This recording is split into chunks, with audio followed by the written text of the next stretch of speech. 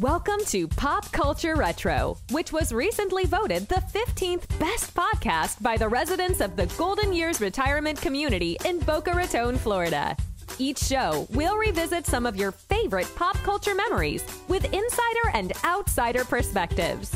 Now, please help me welcome your hosts, Ike Eisenmann and Jonathan Rosen. Hello, and welcome to another edition of Pop Culture Retro. I'm one of your hosts, Jonathan Rosen, along with Ike Eisenmann.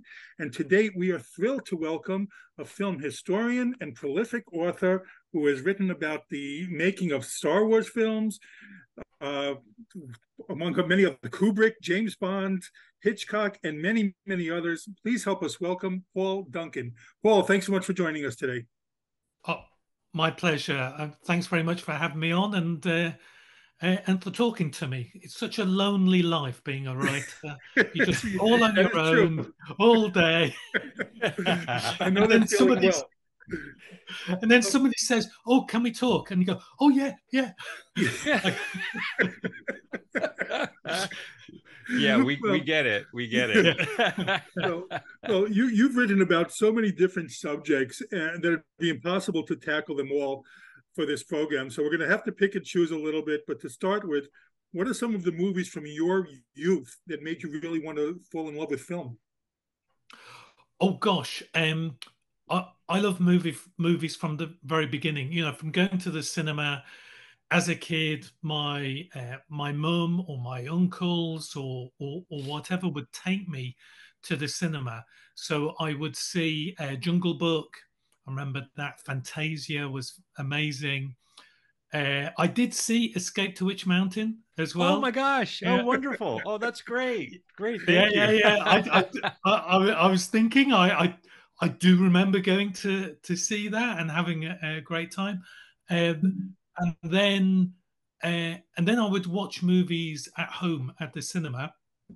Sorry, at, at home on the TV, hmm. and uh, I remember um, movies had all sorts of different effects on me. So obviously, King Kong, I literally hid behind the sofa. I, I, know I, I, I know it's a cliche, you know, but I did hide behind the sofa when when King Kong was on. Uh, oh there was gosh, another, that's great. Uh, there was another one, um, uh, Wild Bunch, which I, oh, um, I I saw it. I was a teenager by this this point, and I saw it on a small black and white television in my bedroom late at night, and um, even though it was tiny and it was black and white, um, it had such an effect on me that I could remember every single scene in it mm. to such an extent that when it was repeated, reshown um, years later, I, I thought there was something different. There was something missing from it. And it was only later, many years later, that I found out that the second time it had actually been cut you know so intuitively I, I i, understood that that that it was was wrong but but growing up uh, i loved movies so much that i used to memorize them I used to memorize the because this is pre blu-ray pre-streaming pre vhs um, yeah. Uh, and I used to uh, memorize titles, and I got up to I think about 110 titles of movies that I'd seen that I'd remembered. Um, so that was that was very much in my youth something that I uh, that I loved. Yeah, and um, I just knew, oh, I love this movie. I love that movie. I need to remember it because there's no other way. Um, th- there were no books in my local library for me to look at or you know, that I could find with, with these movies. And then it was only later, actually, when I uh, when I got my first job going out of university with my first paycheck, I went into a secondhand bookstore and I actually picked up two film books secondhand um, in order to find out more about movies and how they were made. Uh, one of them was Crucified Heroes, which was all about um, the making of the Wild Bunch. Oh, well. Obvi- obviously, I I lo- I loved the movie, but knew nothing about it. I knew I, I didn't know the um, uh, who directed it or who was in it or anything like that. So I picked up that that book purely because it was about the Wild Bunch, and then the other book was I'd just seen uh, or recently seen Emerald Forest, directed by John Boorman, and he had done a book like a diary about the making of it um, called Money into Light, and uh, and so those two books really they showed different two different approaches to talking about movies. Crucified Heroes was more analytical. It was about the dissection of the movie and analyzing and unpacking, mm. as they say nowadays. Money into Light was all about this idea of the practicalities of making a movie. So, so you know, pre-production, getting the script, getting financing, going on location, post-production, release, all the problems and issues. So, so really, that was my introduction into uh, into movie making, or or mm-hmm. what what movie making was really about. Yeah, my gosh. Well, how how did you uh, get started writing about films yourself? Hmm. Well, I always, um, I've always had many different interests. So, as well as films, uh, I loved uh, comics, and so, um, so I actually did when I was fifteen. A friend of mine, Doctor Who. I'm in the UK, so Doctor Who was really big uh, in the 1970s and 80s when I was growing up, and in 1980, I was at school, I was 15. A friend of mine in the same class as me said, Oh, um, I've got these fanzines, these fan magazines all about Doctor Who, who's really big Doctor Who fan. I, as it happened, uh, by this stage, I had discovered Star Wars and Close Encounters. Um, um, and the first Star Wars film had come out Empire Strikes Back had not come out. And uh, I discovered Starburst and Starlog. Starburst was a UK magazine, Starlog an American magazine. And I, I used to actually copy out um, some of the art, the articles that I liked, and I used to make my own little magazines. You know, in uh, I, I, my dad brought home pieces of paper you know, from a um, uh, from the drafting office from where he worked, um, and um, he handed it to me because I love drawing. Uh, and one day I started ruling out pages and making up these little magazines with my own drawings. I'd copy out. I didn't know how to write really. so I used to copy out these different articles from different magazines. I make my own magazine. Showed it to a friend of mine he showed me these Doctor Who fanzines, and we said, well, why don't we do our own magazine? And so I, I did my own fanzine called oh. Arkensword.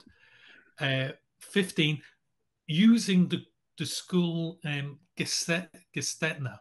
Do you know what a Gestetner is? All right. No. So it's, uh, it's a drum, right, with a pad with ink in the middle, and you'd put, uh, you'd have a wax stencil so do you know on typewriters, the old typewriters used to have stencil, and where the ribbon doesn't go in, this was so that you could put a hole in this wax, this wax oh. page, and you put this wax page around this drum, and so the ink would go where you've typed, and that's how we made our first uh, fan magazine. Uh, that's great. and so, but from there, basically, from from that, I did that magazine, and it became a comics magazine where I would interview um, uh, artists and writers, comics artists and writers. So it was really from that that I learned to write. I did that magazine for ten years. It started. It became um, quite big. I sold five, sometimes ten thousand copies. Wow. Um, um, distributed internationally. Wow. You know, it was um, Perfect Bound. Do I have a copy here? Uh, yeah, the the last. This is the last issue. Okay, so Perfect Bound. Oh, um, neat! God, that's so cool. That is good. Yeah, interviews with uh, Will Eisner, Jack Kirby, oh wow, Brian Bolland, Bill Sienkiewicz, Dave Sim. You know, you got some giants in there. Wow. Yeah, yeah, yeah. No, it it was a big. It, it was it was like the it was like the British version of the Comics Journal, mm-hmm. which was was big in America. I read the Comics Journal. Yeah, yeah, yeah. So, um, but that's where it became. But that was over ten years, um, and then I thought I'd done what I could. This is a long story, but anyway, um, about so I did that till 1980, 1990, 1995. I loved uh, uh, film noir and noir fiction, and uh, so I started a, a magazine all about um, mystery fiction, as you call it, crime fiction. We call it here. I loved all the noir writers, so I'd interview people like uh, James Ellroy, Lawrence Block, James Sallis, Patricia Cornwell, people like that for this magazine that, that I created.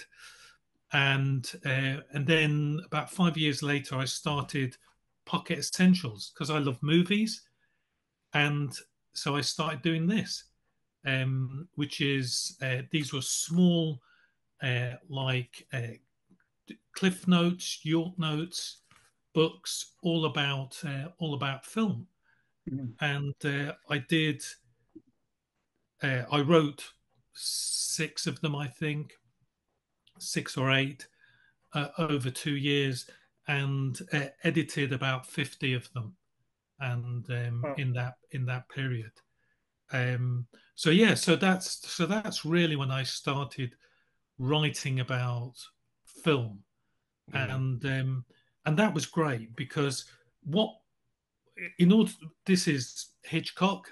Uh, mm. This was the first one I did, and um, what it enabled me to do was to actually get all the videos at that point.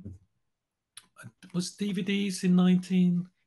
Yes, the, yeah, they, I think DV- by 95, yeah, that should be DVDs. And, yeah, not, this is 99 by here. So, but it was mostly videos. I couldn't afford the DVDs at that time. So I would, yeah. I would, I would borrow um because I was still working a student, everything through all, all this period. This is all in my, my spare time. And um, so the, the great thing about it was that it allowed me to actually sit down and watch the movies. I decided mm-hmm. I will watch them in the order they were made.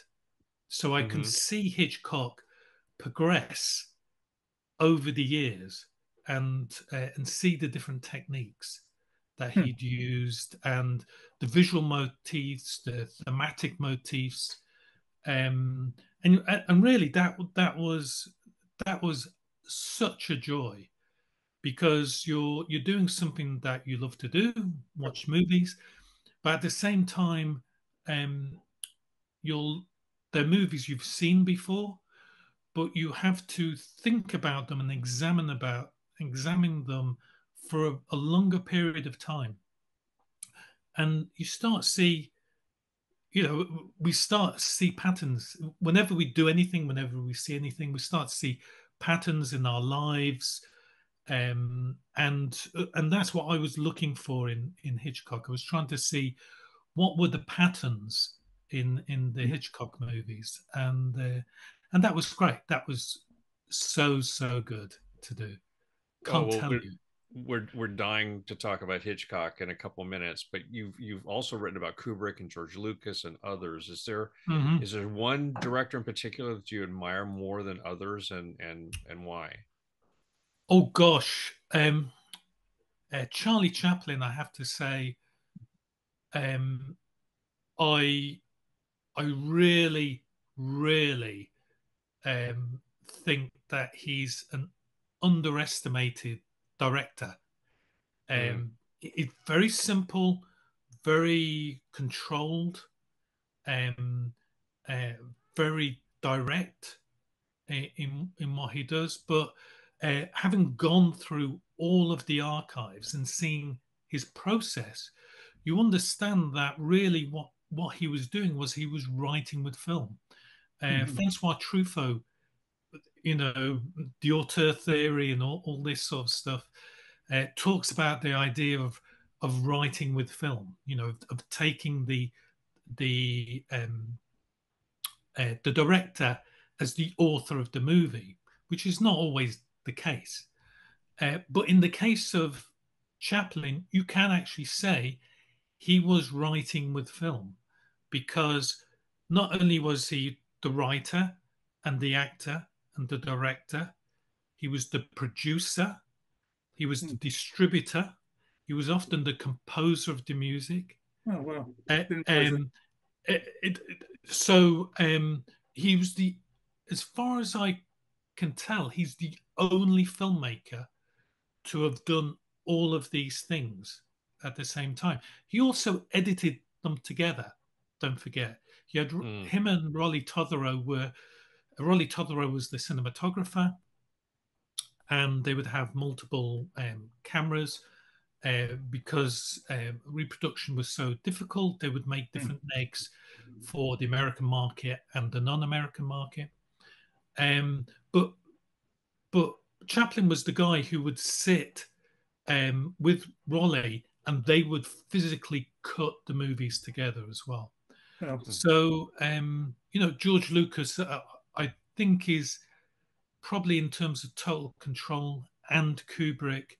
These are the sort of filmmakers that I, uh, Terrence Malick as well, these are the sort of filmmakers I would think of as being the ones who are total filmmakers and the people I admire the most, but also because of the stories that they tell.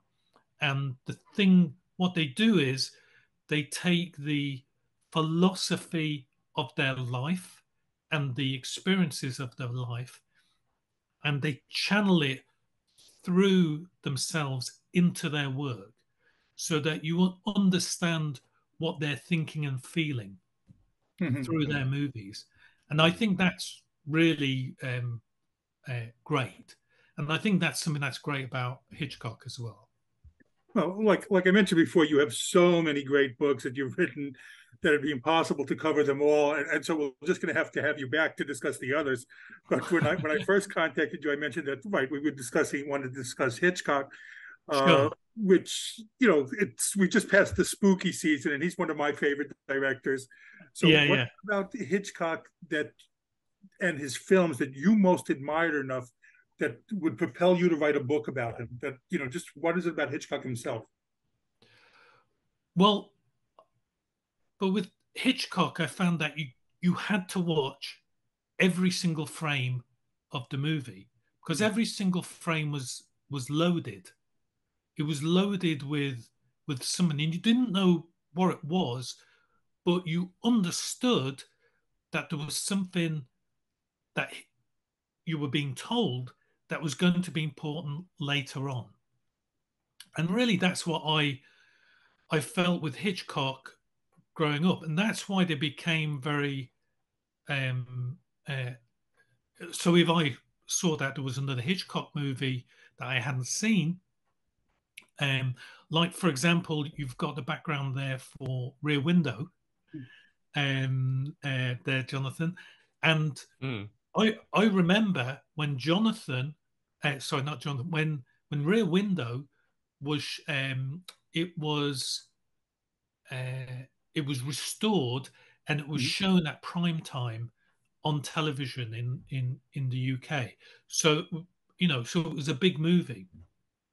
So it was really the first time I'd seen Rear Window, and virtually the whole movie is about looking.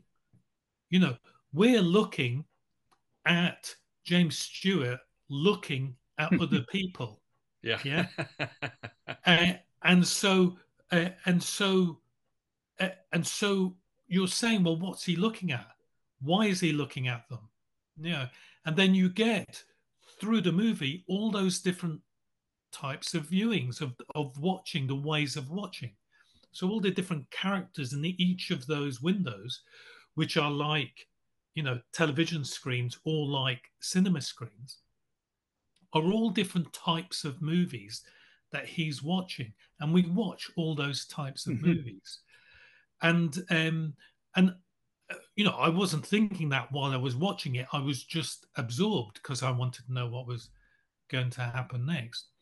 But I think that this is the thing about Hitchcock that that appealed to me. Everything was loaded. There was there was always something else going on behind the obvious plot or character.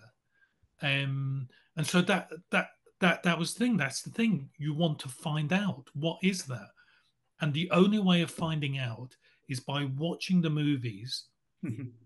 and by thinking about them and having the movies um, stick with you in in your head and and the best excuse for doing that is to write a book yeah because sure. if you write a book it forces you to to do the work yeah and uh, and so that that's what i did that's why really i write books um yeah. it's it's not to um uh, uh, to make money or, or or anything else. It's because I want to find out what's so fascinating about these movies, about these people, and why they did it. Before we get into some of um, Hitchcock's specific films, when you were writing the book, did you discover some facts about Hitchcock himself that you didn't know or that surprised you? The thing that was really surprising when I first started um, researching and looking at it at Hitchcock because really I, I picked up a couple of books, but not not that many when I because I couldn't afford it. um, and uh, and so uh, when I started doing the research, I was really surprised that how dependent and what a team um, it was between Hitchcock and his wife Alma. Mm. And because she had started as a as a writer, as a script editor. Um, so when during the uh, uh, the period of the silent cinema, when they they both started working, uh, Hitchcock was like a, a title designer, and hmm. so he would he was basically drawing the typography that you would see on the on the titles. And Alma was an editor. So she was like, in terms of the hierarchy on the movie set, she was much higher. Mm-hmm. And uh, Hitchcock fancied her, for want of a better word, and wanted to, to take her out, to court her. Uh, but he wasn't, he didn't feel he was able to because of her higher stat- status. Uh, and so he had to wait until he built it himself up in uh, before he could ask her out. And I think what was interesting is that um, that was a real collaboration, even though Alma, it, even though Alma effectively left in terms of credit and um, what you would see um, uh, in terms of uh, on the screen. She was invisible.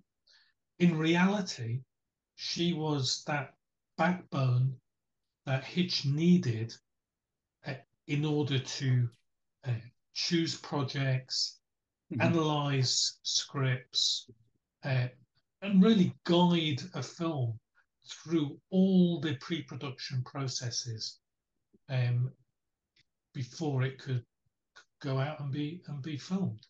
And I think that was really the biggest, if you like, lesson that that I learned from um, from the initial research, research. On, on, Hitch. Yeah. Um, and so and and if you look at his his movies, you really you really see it. You really see how solid the scripts are. The, you never get the feeling. You get the feeling that the characters are consistent throughout, and except for one or two movies where they something seem a bit flaky and you you find out that things are happening behind the scenes but the but really uh, and it's that solid storytelling that really you get from Hitchcock. You know that if you sit down in front of a Hitchcock movie, it's going to be well made, well directed. The story is going to be solid. Everything it's it's like a guarantee, right? And and that's something almost unique nowadays. Oh, well, yeah, well how, sure. how did he get his start in directing? Oh, basically, he was an assistant directing assistant director for a during the silent period for a director who was essentially drunk most of the time. So hmm. he would he would he would come in and he would be doing. Uh, so Hitch was more of an he built himself up to an art director. Um, so he would be looking after the sets, etc. So he would be know what was, you know, where people were supposed to enter, where people were supposed to leave, where there was supposed to be steps. He had visited uh, Germany during the um, uh, the expressionistic period. So when you've got people like Murnau and Lang and all their set designers uh, working in, in in Berlin, and he's there on the set working on some of the same sets and walking around and seeing how they they do all their um, camera techniques, how to design the uh, the sets, etc. So he's learning all that. He's like a sponge, taking all that in, um, and at the same time, he's having to direct for a director who's not really interested and hmm. who's drunk. So he's covering uh, and that's how he's learning the trade. And um, and that's how he starts directing and building um, building his what you call your IP or your brand now. Right. Um, but his early movies were seen to be unreleasable, and that's what's just amazing. You know, when you look at um, some of his uh, uh, his early films. Uh, they were seen by the by the producer, and the producer said, "This isn't really a very British movie." because Hitchcock was influenced by the Expressionists. And he's, um, nobody will understand this.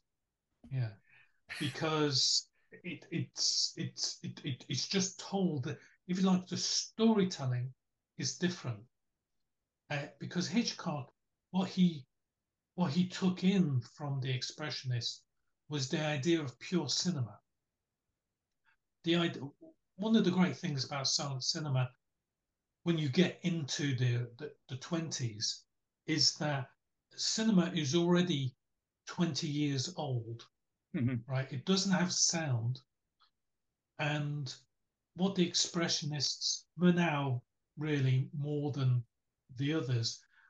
What they had learned is that you can tell a story purely through the action and through the use of the um, of the camera, um, uh, how the camera moves, how the camera is framed, how people are are, are moved and framed within it, mm-hmm. and also little um, artistic techniques for for telling you what people are thinking and and this is what hitchcock was learning and he was applying this aspect of pure cinema uh, to his films and uh, and this is the reason why even when sound came in a lot of hitchcock's movies are, are still pure cinema. Many of his greatest moments are without dialogue.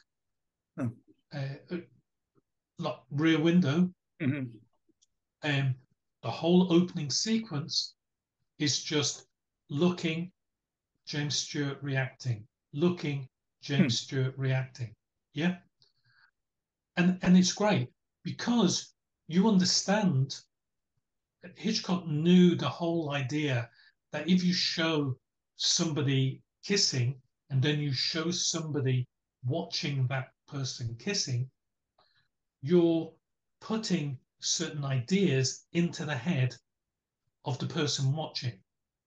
In the same way in Psycho, when um, Norman Bates is looking through the hole in the wall mm-hmm. at Janet Leigh, we, we're, there, we're then putting thoughts into Norman Bates. We're, we're, we're, taking both his point of view and we're thinking the thoughts that we may have are then uh, we think them, then we see Norman Bates, and then we think that Norman Bates is thinking what we're thinking. Yeah. So so this is a technique that Hitchcock used all the time throughout all of his movies uh, in order to put the audience in the point of view of the of the different characters, even the horrible characters, hmm. which is which is one of the I think um, uh, one of the unique aspects of Hitchcock, and really puts him beyond, above and beyond many other um, uh, directors and filmmakers, uh, because he was willing to have central characters that were unlikable. Mm. And uh, and if you like, and sometimes they were the villains and the bad guys. It's always a, a, a good sign when you see somebody like James Stewart, who always plays these beautiful, pure characters, or you see somebody like Cary Grant, who always plays these um, suave, sophisticated characters, suddenly in Notorious, Cary Grant is horrible. Mm-hmm. He he is gaslighting and he is abusing Ingrid Bergman in in in the film. He is a horrible, horrible person, and he's doing horrible things. But but it's sort of understandable. Um, and then you see Ingrid Bergman doing the things that she does in that movie because of her love for him. Yeah. Um, so she's sort of enabling him to to do that in mm-hmm. order to prove her love for him, which is then reciprocated by the end. Well, uh, in uh, and it's the same with um, uh, James Stewart in Vertigo. Mm-hmm. James Stewart, you think of him as a sympathetic character, but by the end, you realize that he is completely obsessed and delusional. He is not somebody you want to be. Yet, through the use of the camera and pure cinema, Hitchcock has put you in that place. And I think part of the um, part of the feeling that you get from these movies is you feel unclean, you feel sullied uh, to an extent. Hmm. So your reactions to them are not the same as your reactions to other movies because you realize that you've been manipulated into a position that's that's not nice for you as the viewer that's best what so you he did not get his due in all the early films when, at what point do you think that that he finally got put on the radar i guess of you know the big commercial you know the big public audience that people say hey this is someone that we should be paying attention to well really the first in the uk the first film was really blackmail which was the first sound mm. film. Because that was that was a subject which was extremely controversial. He had uh, an enormous star in it um, playing the lead role and um, and he was um, uh, and he was playing what could have been a, a villainous character. He was he was shown on the screen like Nosferatu, hmm. yeah, almost like a, a, a vampire entering a, um, uh, entering a, a, boarding house, uh, and he's seen as the villain of the piece. But through pure cinema, Hitchcock turned that movie into a, a cause célèbre. partly because it was a sound movie, partly because of his use of sound, because of the subject matter of crime movie. He hadn't, not all his movies were crime movies up to this point. And, and if you like, he uh, he was seen as from from that point on in the UK, he was seen as a master of cinema.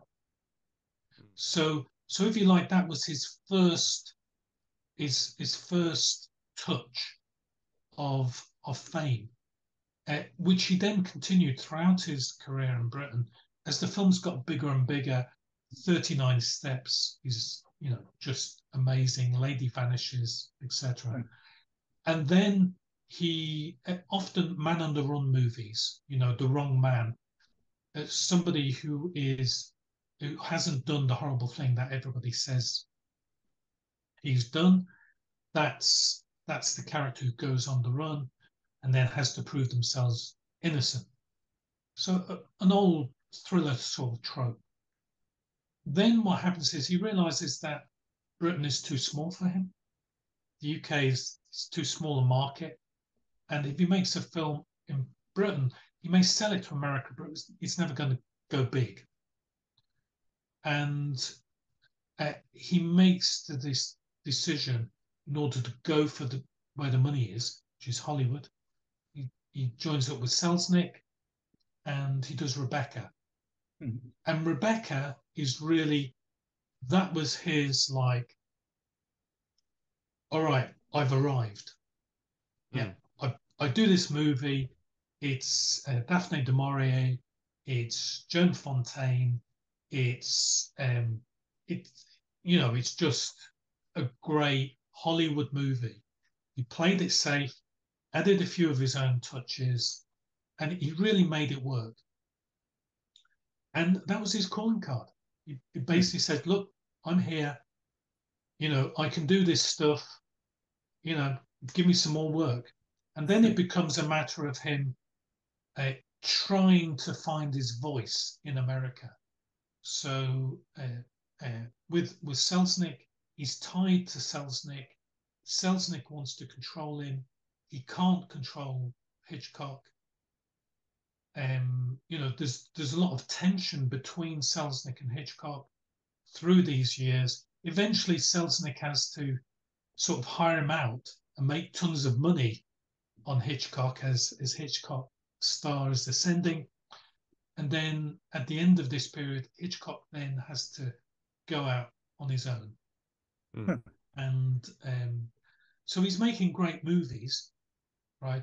But Hitchcock really needs to get his independence mm. in order to become, you know, master of his own domain and do everything that he that he needs to do and make movies like Rear Window and Vertigo. Yeah. What, it, it, it, what what point would do you feel that he really started hitting his stride and and making what we would come to think of as a Hitchcockian film?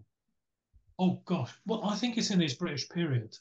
Oh, I, I, think okay. if you if you have a look at if you have a look at Thirty Nine Steps and Young and the Innocent, these are just great movies, and he's basically remade remaking those movies in mm-hmm. America. When you see something like uh, uh, uh, Saboteur, uh, which is a great early, um, um, you know, warning about the, the fifth column in America. He's he's remaking 39 Steps uh, in America, and and that's what what he's doing. North by Northwest, which I think is is it 58, 57, some, something like that. Um, I should look it up in one of my You've got all the reference material you need. Yeah. yeah. let, let, let, me look that up for you. This is uh, Natasha. let, let, let, me see. North by Northwest. That's an excellent movie. Um, uh, it was, he did Wrong Man, Vertigo. Yeah, North by Northwest. 1959. Pardon me.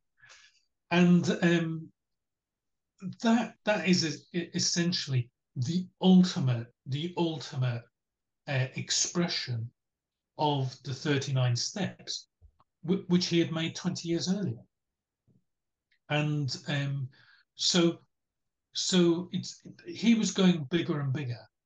Mm-hmm. So so I, I don't think, if you like, I, I, I think he found his his himself as a filmmaker eh, during his British period. But I think what he did was there's a, a certain point, and this happens with all creative people, is that there's a certain point where you need to push yourself beyond what you can do. Because why should you remake the same thing over mm-hmm. and over again? You need to push yourself into new areas. And that's what he was doing. The Wrong Man, which which I think is is a great, great movie. Based, it's a true crime movie based on a real case, going to the places where um, uh, Balestrero, the, the, central character played by uh, Henry Fonda, uh, going to the places where he um, uh, where the incidents actually happened, sometimes using the actual people that were uh, in the in, in the true crime. I mean, this is how much people people don't seem to realize how much attention to detail um, uh, Hitchcock went into.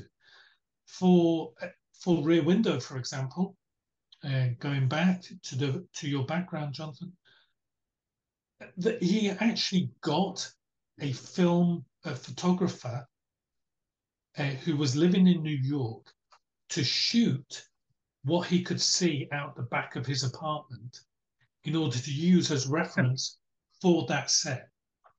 Yeah. And, and, and he, he did the same thing with um uh, uh, you know so if there was a, a certain pe- person in a per, uh, in a particular situation in a movie he would find a real life equivalent. Yeah? Reference mm. uh, to as as reference as the beginning point as the starting point for that part of the production both in terms of costumes for edith head for the production design for for for everything you know so henry bumstead or whoever was doing the production design art directors so that they uh, Mentor Huebner doing the storyboards or, or whatever. So that everybody involved in the production, his own team, um, was constantly involved in every part of the process so that they understood what the, the story that was going to be made, you know, the Milieu, mm-hmm. every the, the whole setting. and um, uh, so um, so, what was the original point? Get me back to it. Oh, just yeah, just which which which film, at the, the like, point. Like so, like so so all of these all of these were expressions of of Hitchcock. Hitchcock from an early um, from an early age, he was in a grocer's. He, he was his dad was um, had a grocery store and was a distributor of groceries. This is why in Frenzy it's set in Covent Garden um, because it harks back to Hitchcock's own own life. Uh, the idea of doing um, uh, blackmail based on uh, the uh, uh, the Hitch uh, the Jack the Ripper murders um, is because when Hitchcock was growing up, he he lived in the East End. All he heard about growing up was about Jack the Ripper. Hmm. Yeah. It was only a few years beforehand, before he was born, that Jack the Ripper had created those murders. So, so as he was growing up, he was hearing about that. That set off a lifelong interest in true crime. This is why he did Paradine Case and another, another stories that are based around the process of of trials and murderers. Um, be, because it was a subject he was interested in. Shadow of a Doubt, Thornton Wilder, um, absolutely, um, you know, one of his his best movies, um, all based on on research. This is a point where Hitchcock had to learn about America. He had to l- learn about American small town life. Yeah, so he had to integrate and assimilate into American culture. Um, so this was all part of his this this new thing he had to learn, um, um, this constantly looking for something which is new and different. This is why he moved on to uh, Vertigo, uh, Boileau and Narcejac, the writers of of, of the movie, uh, of of um, uh, of the original novel of which um, uh, Vertigo was made, from which mm. Vertigo was made. They'd written uh, Les Diaboliques, uh, which was turned into a movie by Henri Georges Clouzot. It'd been an, this enormous hit in uh, worldwide, and Hitchcock, you know, loved reading Cornell Woolrich, on which Rear Window was uh, based. Um, you love reading all of these um, um, thriller uh, and noir and mystery writers. And, you know, so immediately he bought um, and Narcejac's uh, original story, The Living and the Dead, the, the novel, for for to make Vertigo. So he was always looking for the new thing, the next thing. Uh, and Vertigo is is is is essentially based on the idea of the spiral. Uh, so the spiral that you see, mm-hmm. this is the idea of vertigo as being, you know, having this this idea, but also the spiral of of characters actually going around and round in circles, and where are they going to end up?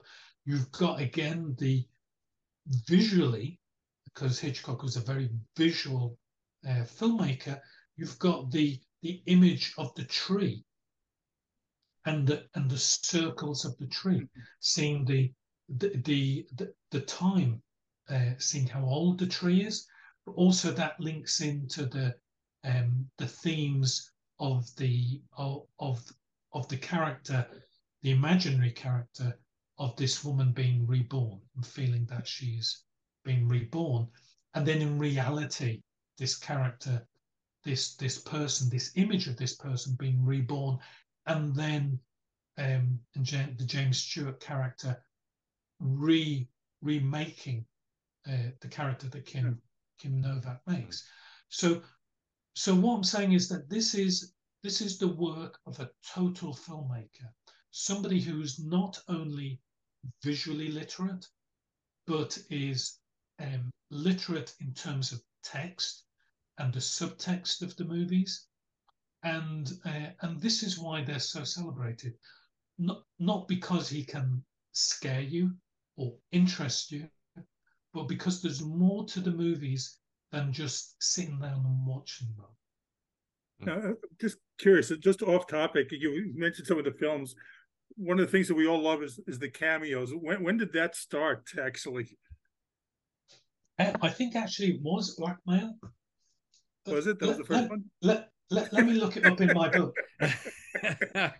because uh, I, actually, I, I, I, should say that uh, I did this, um, which was 1999, and we, you know it was reprinted multiple times, and and then I started working for Taschen, and the first book I did was this, right, and then it came out as this, a bigger version, right, in hardback, and then many years later, we, we did this version, which uses my essay uh, as as the front of the book, uh, and then there's things on uh, different essays by different authors at the back. You know, and, this is you know it's uh, it's it's amazing, really. But I did put the cameos, every single cameo, and uh, and the first one is in the, the, uh, the lodger. Sorry, it's not. Um, it's not. Uh, it's not really blackmail, which I think is his first big film. It's uh, the lodger. Pardon me, I misspoke earlier.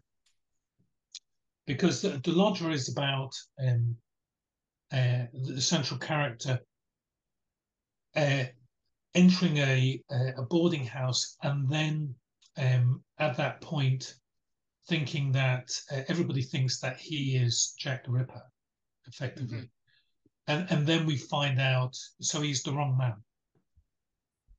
Uh, I, I mistitled it as, as blackmail, but um, but yeah, but that was the first the first time that we that we see uh, Hitchcock.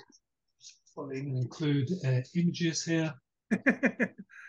All right, so you can see. And Hitch always maintained that it was because he needed something to fill the frame. And um, yeah, and him being a, a big lad, portly, yes. yeah, that, yeah, he, he could that, fill fill the frame. You only see the back of him. That makes sense. But but the but then it became like a superstition, you know, because right. the film had been successful. Got to keep going. He then could uh, uh, uh, he wow. then included everyone. So, uh, but yeah, I, I, went through all the movies and took uh, frame grabs of them all, and uh, uh and put them in the in the book, which was good. it's good fun, yeah. And sometimes well, there's more than one. There's more than one cameo in some of them. Oh gosh, I didn't know that. Yeah, I haven't. Yeah, yeah, uh, yeah. yeah. I've been playing that close of attention, I guess. Well, we were reading that he was always fighting with the censors about his content. Yeah, I I think that um, you've got to remember that he, he had to work within his own um, he had to work within Hollywood, and he had to work within the the confines of um, the motion picture, uh, uh, you know, the, the sort of the production code. And so, and so one of the things is that the um, the villain can't get away with it, or does or do they can only kiss for so for so long. So hmm. for for example, famously on um, uh, Notorious, hmm. there's uh, uh, Cary Grant is effectively seducing Ingrid Bergman um, in order to get her to spy on her her father's Nazi friends, and uh, and so they have a scene which is, is, essentially them kissing for more than three minutes, and um, or however long it was, but it was a long, long time, uh, and the censors wouldn't allow that. You know, you, there's a slip, very strict number of seconds when you're allowed to kiss.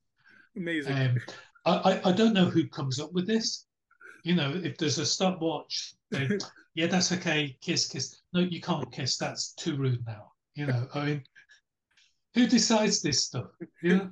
Well, yeah, anyway, it's, it's, always always baffled me. I mean, completely baffled me. Yeah. Um, can, can you imagine? It, seem, it seems who, arbitrary. Who, whose it's job like, is that? Yeah, exactly, yeah. exactly. Yeah. It, it's exactly the sort of thing you can imagine a committee yeah. getting together in order to do that and, and there's you know you, you've got a wide range of people on the committee saying well no i, I think I think 32 seconds is too long. I think 31 is just enough.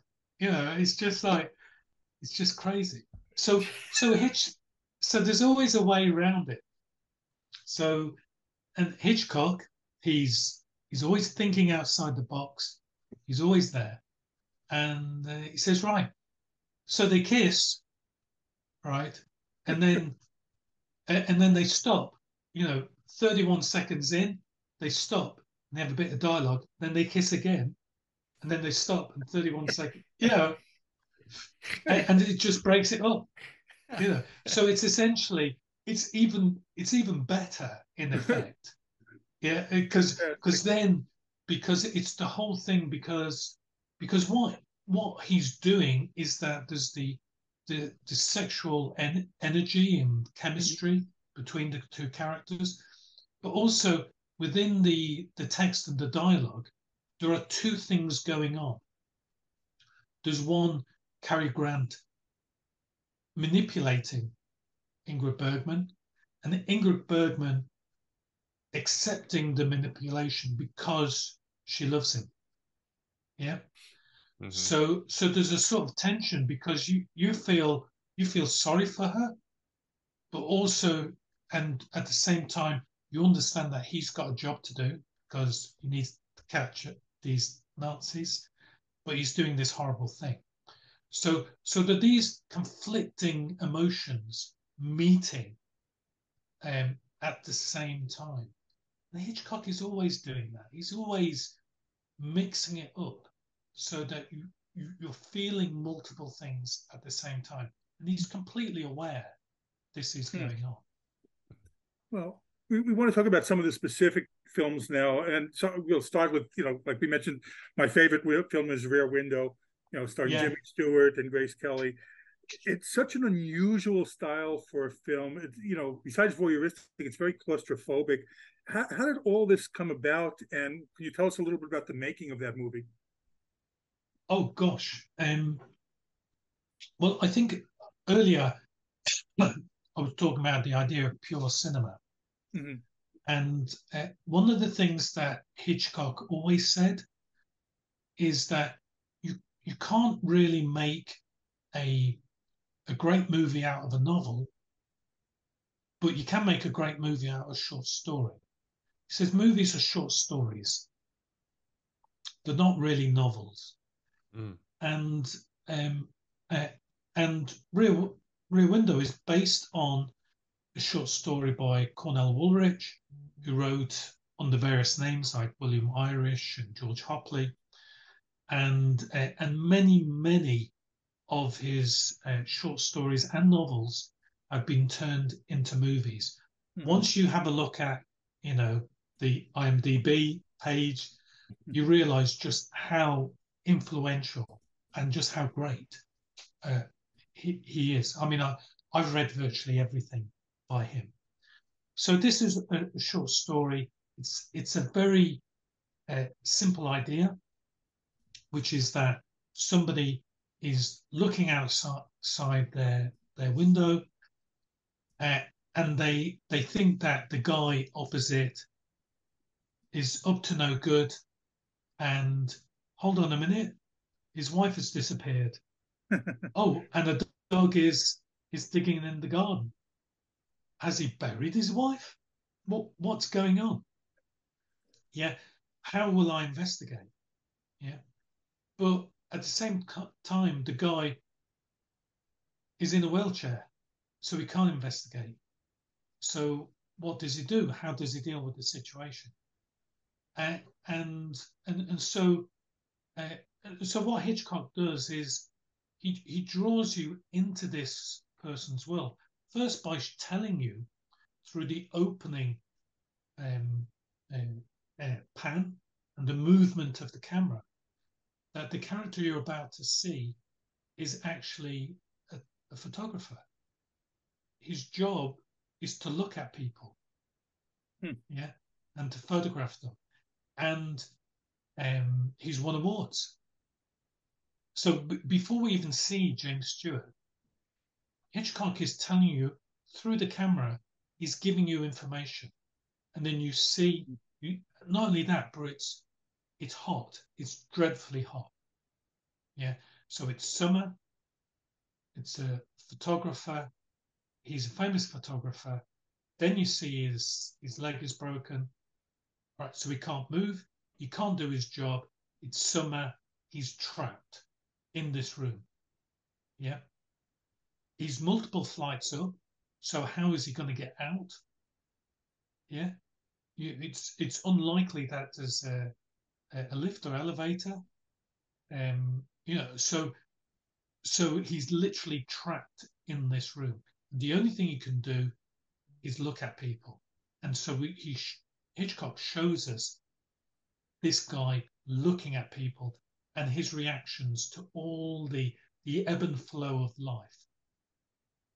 So, so this is, if you like, how how it's set up right from the first scene, and then things are built in. Hitchcock takes his time. He's given you information, and, this is something that I remember um, when I met with George Lucas. I was mm-hmm. doing the Star Wars Archives book. Um, um, George was talking about the the drip, the dripping, the constant drip of information. So every time that you show something, the same thing, if you like, you have to show something different so that you, you can't repeat a thing. You have to add to it so that people get more information from it. You develop it. So, for example, in the case of specifically, we were talking about uh, lightsabers in Star Wars. Mm-hmm. So, so you see the progression of the first time you see a lightsaber is when it's handed from Obi Wan to Luke, and it operates fine. The second time you see it, Obi Wan takes his lightsaber out in the cantina, and it's just a flash, and somebody's arm comes off. Yeah. So it's shown as something that's deadly as a deadly weapon. So that's a piece of information you didn't really know or understand before, but now you know for real that this is a serious thing. The third time you see it is when Luke is training, right? And at that point uh, in the Millennium Falcon, and then you realize how difficult it is to operate and to use. So the skill that Obi Wan showed, right, is not something that can be learned easily. It's something that has to be learned over a long period of time. Mm-hmm. So, so if you like, each time a thing is introduced or shown, a new piece of information has to be added. And this is what Hitchcock does in, in Rear Window, in that behind every single one of those windows that story. that uh, that uh, James uh, Stewart is looking out of is a different story, and we see a different part of that story and his reactions to it as as we go through it, and then at a certain point, the tone changes because um, because of the idea of the the murder mystery, but also you begin to understand that uh, James Stewart, each one of those stories that we see behind the windows, is also the story of James Stewart. There's it, you know, there those different characters are all reflections of what's going on inside him. He's not just seeing them, they are what could happen to him. They are all stories. Yeah. And um, so the, the the guy on the piano on his own who's lonely, yeah, that could be James Stewart the rest of his life. He could be have parties, have people around, but really he's sad and lonely as a character. Yeah. I was I was just trying to think like what what's the pitch meeting you know, say I'm going to take one of the biggest stars in in Hollywood, and I'm going to have him sit in a room for two hours and not move.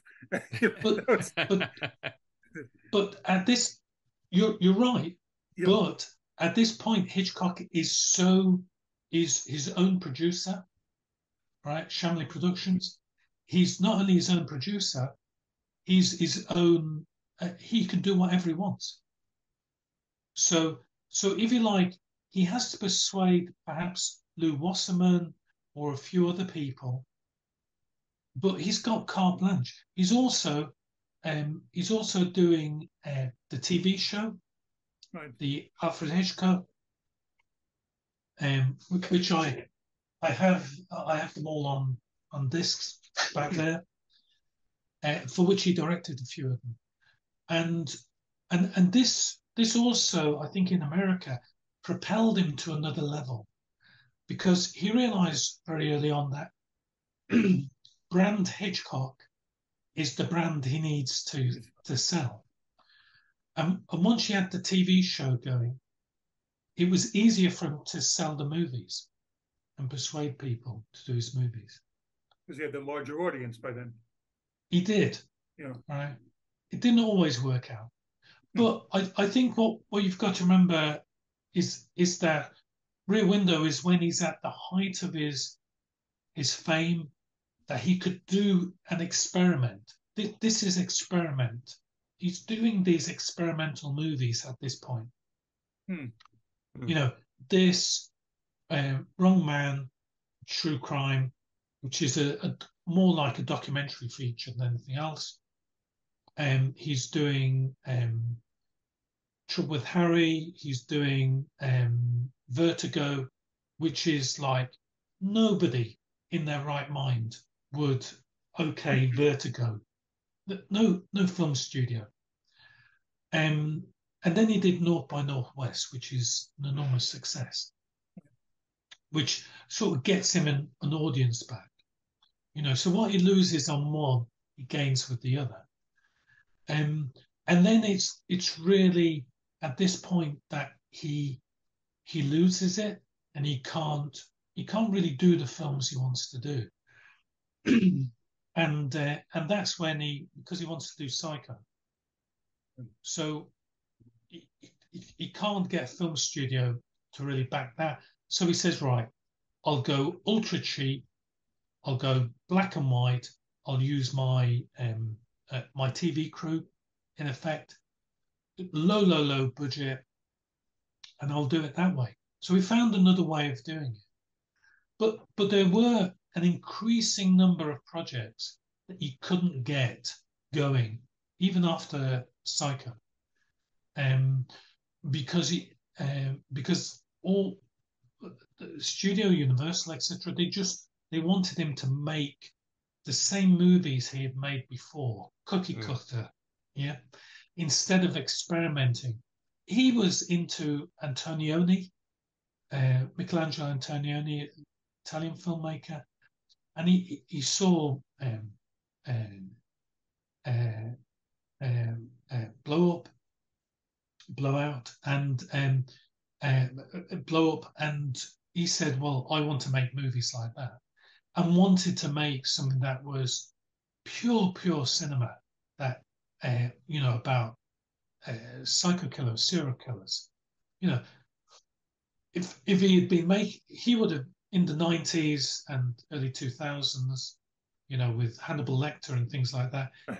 You know, they would have been calling out, you know, for Hitchcock to make those type of movies. But in the 1960s, 30 years earlier, no, you know, he, he, he couldn't get them made. Mm. Well, we want to talk a little bit about To Catch a Thief with Grace Kelly and Cary Grant. What what can yeah. you tell us about this film? And we read that one of Hitchcock's reasons for doing it was because he wanted a vacation in the south of France. Is that actually true? well, I'm, sure. Why not? He, he loved St. Moritz. Who wouldn't? Yeah. You know, I, I mean, he, he, did. In fact, he did. Um, it may sound funny, but at the very first version of um, The Man Who Knew Too Much was set in San Moritz, right? Hitchcock went skiing in San Moritz.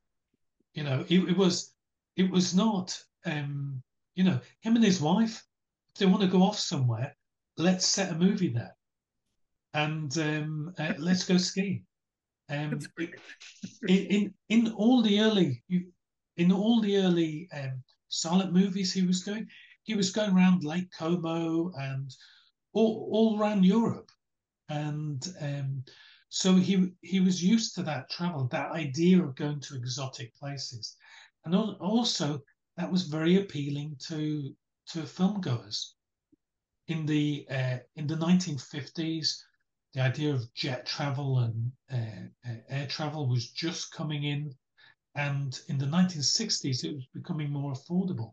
This is one of the reasons um, the James Bond movies, the James Bond books, and then the movies were so successful because they always had this element of the exotic locale. Mm. And, and Hitchcock was very aware of this. You know, the, the second version of Man Who Knew Too Much, set in North Africa, gave him an excuse to go to Tunisia and to film there uh, and to add that exotic element uh, to to his movies. So um, so no, I completely believe it. Yeah, I completely believe that. You know, he wanted to be spend time in the sun uh, with his wife and daughter. Who wouldn't? The um, you mentioned you mentioned Vertigo. We were just talking about you know before Jimmy Stewart. It, it, this felt it, it, was a little bit more like a Hitchcock movie than To Catch a Thief was to me. Um, I just recently rewatched it because my daughter was assigned it from film school, but it, it's yeah. it's really such a dark film, like you mentioned. So what what was some of the you know stories about making that because it, it just seemed much darker tone to me at least than the previous films that he had done. Yeah, I I think that and you hit upon it a little bit before because Jimmy Stewart was like really unlikable a lot of he was obsessive and unlikable in some aspects. Yeah, I th- I think that um I mean Jimmy Stewart is an interesting actor, uh, much more complex, I think, in some of his movies um, after the war. After World War, pre World War II, he's basically a comedic actor. He is um, very likable uh, uh, and lovely, uh, very upbeat. He, uh, there's a lot of integrity uh, uh, about him as as a character, but a bit of a um, a bit whimsical and a bit um, uh, I don't know what you would say in America, but he's he's with the fairies sometimes, as we would say. um, uh, you know that his his head is in the clouds, and um, in the um, after World War II, uh, his experiences.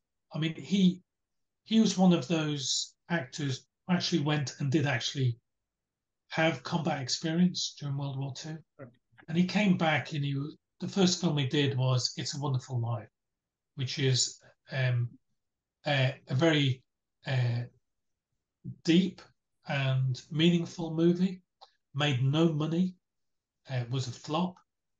Um, only became famous afterwards in TV reruns.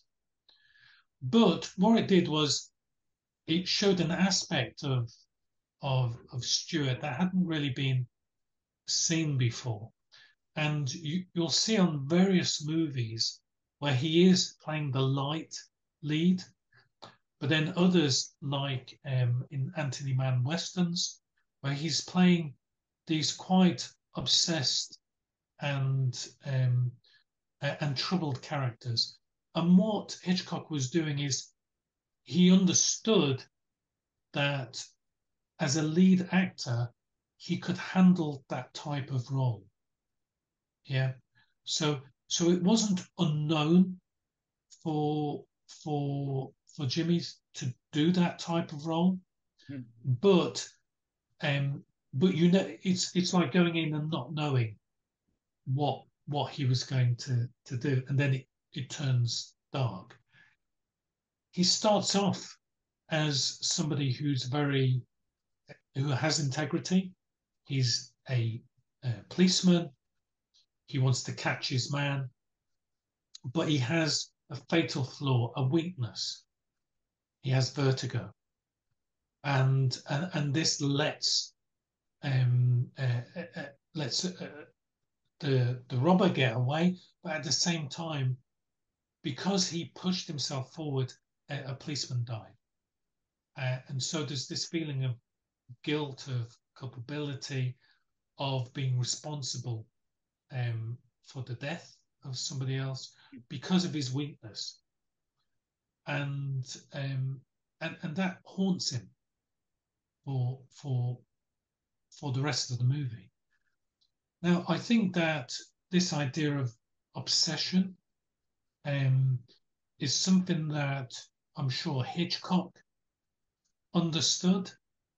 Um, he was, uh, uh, uh, I mean, if you look at the way that he created his movies, he always um, uh, had this obsession for detail, for perfection, for um, um, the way uh, the image was framed, the movement, the rhythm, everything he needed to be done um, in in his language.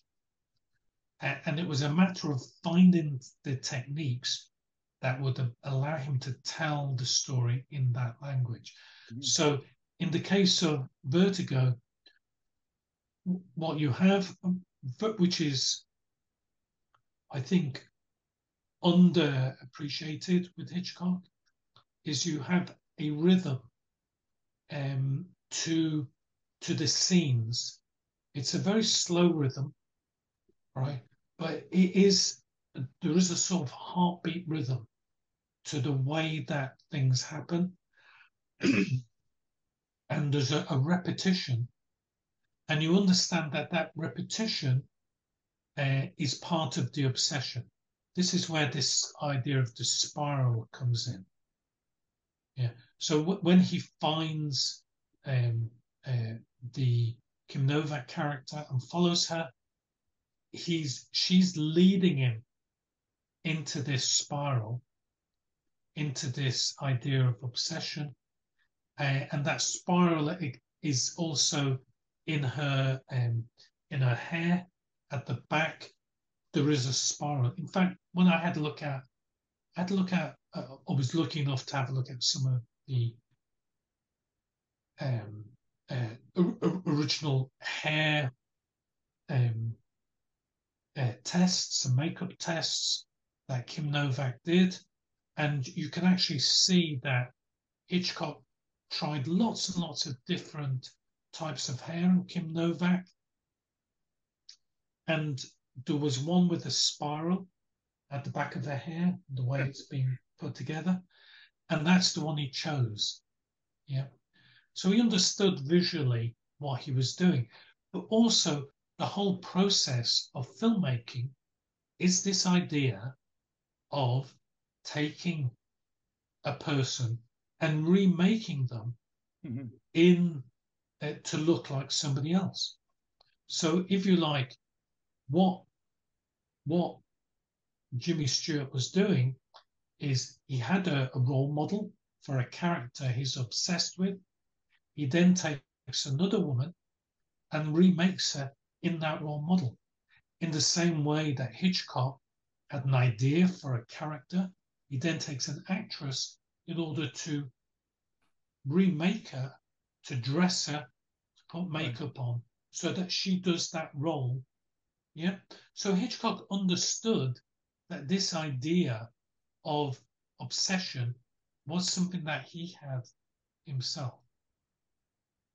these are not accidents you cannot you cannot create movies, you cannot analyze movies, you cannot tell stories for decades upon decades without understanding the process that you go through and your own obsessions.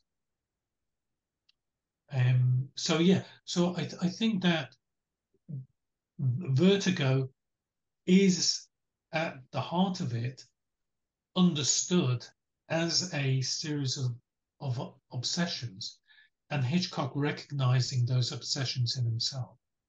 Mm, wow. Well, the the last of the Cary Grant Hitchcock films and another one of my favorite, personal favorites is North by Northwest. What are amazing movie anecdotes you have um, you heard about from that movie? Well, I, I think this is um, oh gosh, um, anecdotes from that movie. Or, well, I think I, th- I think there's a lot made of um, the idea that Hitchcock had everything planned. Right. So all, all filmmakers, when they um, when they make movies, certainly you you, you see something like uh, Martin Scorsese. He talks about in his early movies, uh, he would do little thumbnails of every single uh, shot of his movie before he started filming. Right, and uh, uh Bill Krohn did a great book on Hitchcock, Hitchcock at Work. Mm-hmm. I know Bill, great guy, um, and and he he basically on uh, North by Northwest he showed that the the idea that we have of Hitchcock is as somebody who is in complete control. He tells you in interviews that what he does is he plans everything out, he does storyboards, and then he follows the storyboards, and he's so good at it, he doesn't even have to look in the camera because he's got everything planned and he's in complete control and this is this is not true. Um, and and and you see it in the way that um, if if you look at storyboards for for scenes, which is what Bill Krohn did, and he compared them to the finished scenes, you'll see that they don't match, that there are differences. Hmm and you have to you have to understand that the filmmaking craft is um, you know writing is rewriting filming is refilming editing is re-editing so it's it's never a singular process within the idea of a production environment all studios want to hear from you oh, yes, mm. I have an idea, I have a vision for it. Yeah. Um, and then uh, and then I film it and then I cut it together and it's done. Yeah. But that is never the case. Hmm. Because what happens is that you have an idea, you have an idea of, you know, you you visualize it, right? Then when you film it, it comes out different to how you visualize it. So you have to adapt it and you rethink it. And then when you see the the dailies for it, you realize that what you thought you caught, you didn't caught, you didn't capture. So maybe you have it doesn't cut together. So you have to film, film some other stuff. And then when you re when you edit it together, you realize that maybe you missed something that you have to redo. It has to be a shot because the rhythm is wrong. Or you have to take some of the existing footage and you put it in, you roll it backwards or you extend it. so, in order to fill out the space, in order to get the correct rhythm. So it's all. So this is this is really the thing that if you have a look very closely at these scenes. For instance, the the, the great scene with the um, the crop duster coming down on on Cary Grant. You realise that the the the filming of it and the editing of it is different to the to, to the shots that they had planned out because those are just blueprints producers never like and studios never like to hear this because every time you say um, uh, reshoot extra days um, yeah etc etc et what it's about is money yeah. Oh, yeah. right so so you never admit it right but in effect every movie you see goes through those processes so if you like, um, I, I, I love I love seeing storyboards and all this sort of stuff because mm-hmm. it shows what they intended. But the reality is they come up with something that's a little bit different and a little bit skewed. And um, because when you when you have the footage, right, that's when the real filmmaking begins. Mm-hmm. Yeah. Everything else, you know, production is not production. Production is still pre-production. Post-production, which is the editing, is the real production of a movie. Well, I, I, do. Before we let you go, I do have to ask you one thing about, you know, you, uh, sorry, about... I need to.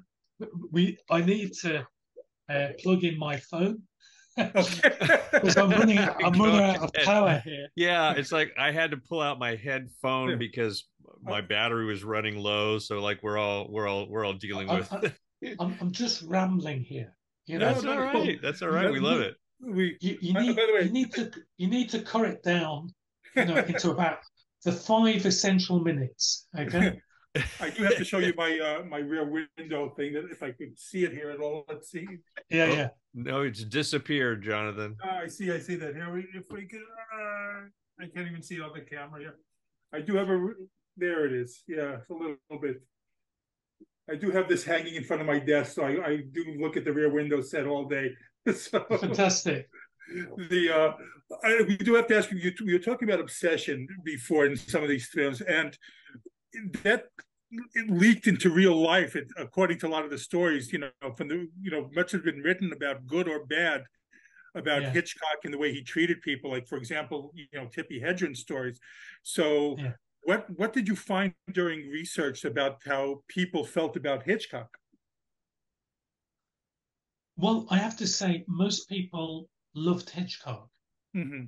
and and I think also there is there is an aspect of Hitchcock which I think is uh, is there, which is that he had um, a very um, dirty sense of humor. Mm-hmm. So, um, so he, he, he's a very. There's a certain sense of humor in the UK, in London, in um, in a sort of working class environment um, that Hitchcock grew up in, even though he was really middle class in terms of money. Mm-hmm. But the interaction in the sh- one of the things I love, if if you is always the the character actors in a Hitchcock movie. So, uh, I mean, this this has a bearing on on on what you're talking about because mm-hmm. because if you have a look at um, blackmail, you see people coming to the shop and they're talking, and then uh, as Hitchcock uses the word knife, so as they're talking, whenever the word knife is said, it's amped up so that you hear it as knife, knife, blah blah blah, knife, blah blah blah, knife all, all the way through the scene. He has these characters talking in all of his movies. He always has these working class, these other characters, um, making comments, having these little funny asides, etc. That was Hitchcock. That was that was his sense of humor, and that, that was his sensibility. And so, and that's how he was on set, and that's how he was with the um, uh, with the crew. That's how he was with the other actors, right? So it was almost he. It was just sometimes it's a bit harsh, it's a bit depreciating. He's not treating the the um, the main actors mm-hmm. as royalty. Um, he's not treating them as special or better than anybody else. He's treating them as part of the crew. And the people that the actors and actresses that he got on best with were were those who understood that. I remember famously uh, Carole Lombard. Hitchcock had this. Um, he famously he was told that he he says he, he treats actors like cattle. Nice. Yeah. So on the set of Mr. and Mrs. Smith, which to be honest is not a very good movie. It's not a very good Hitchcock. So yeah. Uh, but actually it's quite similar to earlier movies he made made during his silent period and in his British period. Um, uh, Carole Lombard at one point uh, got all these animals, all these uh, sheep, etc., uh, in a pen, right, for Hitchcock to direct. Brought them onto the set. yeah, so she, right, because because she had that sense of humor, and Hitchcock loved it. He he he adored her, you know, for for this, because because because she got it right? That he in this whole persona that Hitchcock made for the press that we read, right, is his sense of humor, is his sensibility that that is part of the entertainment that he gives us outside of the movies. Mm. Yeah. So, and they hide his real intent or his subtext. So people don't take him seriously as a filmmaker. They won't, you know, they won't say he's a serious filmmaker because he's just an entertainer. But actually, within those movies, he does have a subtext. He, he is talking about what is the nature of evil. And when you see something like um, Shadow of a Doubt, yeah. um, where you've got Joseph Cotten, who always has often played these great, sometimes grumpy, but always on the right side characters. And here in Shadow of a Doubt, he's playing a serial killer, what we would now call a serial mm-hmm. killer, the Merry Widow killer. And it is just an amazing examination of the fact that such a person exists in such a bucolic environment. Mm. All of these things are part of um, what Hitchcock is trying to say within his movies. How people react to him on the set is exactly you know, is that sense of humor that he has, is those side characters. So in Shadow of a Doubt, he has a couple of characters in there who love true crime. The true crime aficionados. They follow all the latest murders. Yeah. They are the, if you like, the, the comedy aspect of this, uh, of the movie. And, and that's what Hitchcock does. He brings that sense of humor, that sensibility, in order to deflect from the serious thing mm-hmm. that that it, in the movie. And he also does that in real life because he is the clown in in, in the interviews and they deflect from this serious aspect of his own movies. Hmm. Well, okay, the hardest question no. of the day. No, no, no. I know what you're going to ask me. Well, yeah. What's your favorite Hitchcock film? I knew it. I knew it. well, you had to expect it. Come on. Yeah, yeah, yeah. Well, you, got, it, you have your it, desert island. You have your one DVD. oh, God. what's it going to be? No, yeah. Well, first of all, you need a DVD player on the desert island. I think. Yeah. Yeah. Yeah, maybe, and, maybe not, because you've got them all memorized well, actually, that that is the thing, isn't it? You've got to do it. Um, I, I mean, it, it, it does vary. You know, from day to day, it will vary, right? Uh, I think um, Shadow of a Doubt mm-hmm. uh, is in the top in the top five. Vertigo in the top five. Rear Window top five. Uh, but but I really think that Shadow of a Doubt is is the one mm. today. Today, today good enough. is, is, is today, and I, I I think it is this aspect of he brings in the idea of the duality. He's got a female lead character who's essentially we're seeing things from Charlie, played by mm. Teresa Wright, her point of view. Um, she's bookish, She's bright. She's intelligent. Um, uh, she's on the cusp of growing up. So she's learning about the world and she's learning how horrible the world can be. Yeah. So it's a loss of innocence film. You know, that the this um, she's growing up where her father and her next door neighbor they love all this true crime stuff, mm-hmm. but for them it's not real. So, and to her it's not real, and they are the comedy aspect of the movie. Yeah, but she's learning that it's no laughing matter.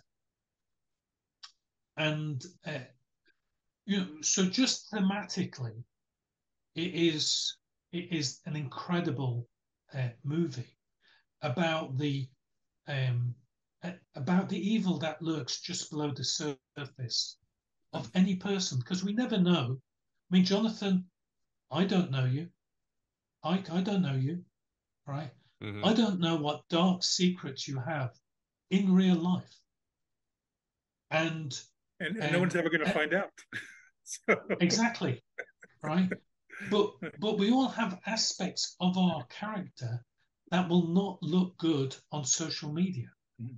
Yeah, and um, uh, and and this is this is what real people are, are like. They're not bland. They're not on the surface. They always have this these currents going underneath. And what Teresa Wright is doing in this movie and what Hitchcock is showing us is that there are currents underneath people that Teresa Wright looks perfect, beautiful.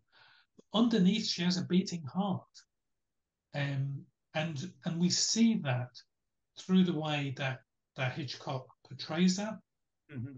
We uh, we feel her love for her uncle, and we feel that love being betrayed. We feel her being alone, um, and we feel her having to face up to it and then having to do a horrible thing and live with that horrible thing for the rest of her life mm. and keeping a secret for the rest of her life. Um, it is, um, you know, so that it doesn't hurt the rest of her family. So, so the thing is that the film, the film has resonance. It lives outside of the screen and it lives outside of the time that we are watching that movie. And uh, so this is what makes great movies. This is what makes great movies like Vertigo. Um, uh, and and and this is why they will they will live on. This is why I'm fascinated by them, and this is why hundreds of thousands and millions of people are fascinated by them. Now, I have to ask, what are what are you working on next? All right. Well, I can't tell you. Okay. Um, all right. Um, all right. So I've got a book, a big book coming out from Taschen. Um, hopefully in the next couple of months, but it hasn't been announced yet, so oh, no. I can't I can't talk about it. Uh, but I've finished it essentially. I am working on, uh, I'm doing some uh, personal projects. So I'll just show you. Um, uh, there is a an artist called uh, John M. Burns. I uh, don't know if you can see that. Yes. Uh, he's a comics artist. Uh, I've got, uh, uh, they're all next door, but uh, he's in his 80s, he's just retired. He's been uh, making comics since the 1950s, drawing comics. He is probably the, I mean, he's the greatest. He's just a great, great comic uh, comic strip artist. And uh, I've been to visit him, and I'm going to do uh, various books on him about him. I've interviewed him. Oh, fantastic! Um, and um, yeah, so I'm working on that. Uh, I'm I should. I've still got copies of this uh, available on my web store, and I, I think I maybe I should update this and expand on it. Uh, I'm always, you know, Uh-oh. doing little little projects like that. Who knows? Well, you. Uh, I'm glad you. I'm glad you mentioned that. So, how can people purchase the book in your web store? How can how can people follow and purchase your book? Okay, well, I'm on um, social media at Kershed K E R S H E D. for on both um, Twitter now X, I suppose, right. and uh, and Facebook. Um, so th- those are the main ones I, I, use, and there are links to the web store there, or you can put it underneath um, uh, when you uh, run this. Um, yeah, and I, have I've got a few, but basically stuff copies. I've, I've got a few copies left. I'll sign them as well if you want. That's you know, what we want to hear. I'll, I'll deface them. and also because I do, um, be, because a lot of the books I do are very large and not easy to post. Uh, I also I do little book plates um, that I sign and and sell and, and, and send off. You know, for a few for a few cents. And um, yeah, I'm welcome to do that. Yeah. Fantastic. Send them well, around the world. You would not believe the places I've sent these things. As long as they can go to Florida, that's all I care about. But yeah, of course, I've sent lots of them, lots of them to Florida. well, Paul, we want to thank you so much for joining us today. It's been such a treat to get to talk to you. Fascinating stuff. It's been so much fun, uh, and we would. I know I speak for Ike. We would love to have you back to talk about Kubrick, which is okay. Ike's favorite. so, okay. but thank thank you again for joining us. Um, well, it's it's my pleasure. I, have really enjoyed it. I'm uh, I'm very thirsty now, so I need another cup of tea. I think. well, this has been Pop Culture Retro. I'm Jonathan Rosen, along with Ike Eisenmann, and again, a very special thanks to Paul Duncan. And please subscribe. Thank you for listening to Pop Culture Retro, where no one was hurt during the making of this podcast.